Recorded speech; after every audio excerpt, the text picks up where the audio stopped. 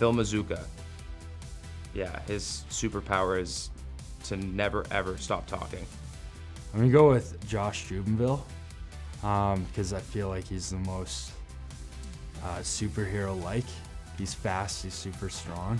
Let's go with our, our new team teammate Mark Matthews, who is a former teammate of mine for a long time. Mark uh, has the ability to disarm anyone uh, with his charisma and charm. He's uh, he's funny. Like he just uh, doesn't matter the social situation. He can approach anyone, and they're immediately put at ease. They love the guy. He's, he's impossible not to to love and just want to be around. So uh, that's a trait of his I've always admired, and uh, yeah, that's that's uh, that's his superhero power.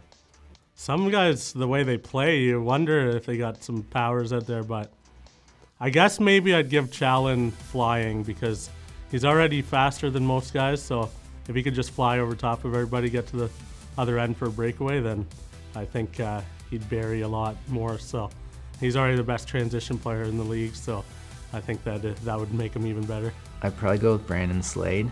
The power of strength, given his tiny little body, but uh, he's a fiery, fiery guy, so I'd give him unlimited strength. He'd love that.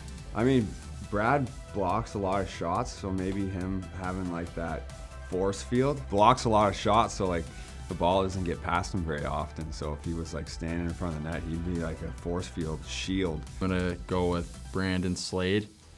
Um, his superpower would be to just constantly be talking at all times and just never be able to stop. Um, I, I think he probably already has it. I'd go with Brad Kri. Um, super strength. Um, he's a tank. Uh, he's, he's a total beast. So I think he's already well on his way, but I'd add a little more strength to Brad, and I think it'd be pretty fitting, you know, for, for who he is and how he plays on the floor.